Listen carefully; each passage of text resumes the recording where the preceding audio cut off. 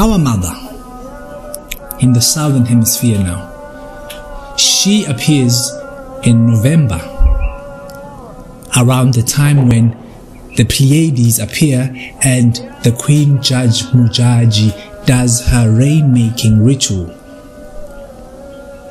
For us in the southern hemisphere, the Tauran bull appears around November, appearing again with those early rains that prepare the early harvest of December. Ungumnisi, she is umnisi, Jehovah Nisi, wemvula at that time of year in the southern hemisphere. But now to us, we see her in the evening. We don't see her at sunrise, we see her in the evening. That's when we see El Shaddai, inkomo yezulu, umngomezulu. Just to backtrack a bit, in August we celebrate our daughters. In November, we, we should be celebrating our mothers. And then in December, celebrate our fathers as the sun is in its highest position. As the northerners are going to do on, um, on Father's Day, which is always year in, year out, a day or two before the summer solstice, the 21st of June. There's a trinity there.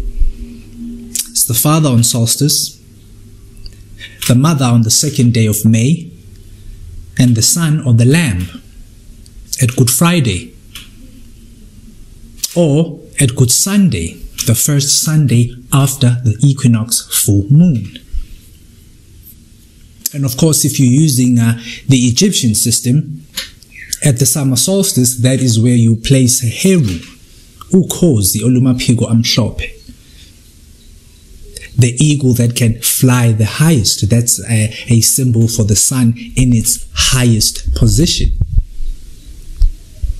And then you place Ubaba or Osiris or Asa, Asa, Owe Silisa, Osiris.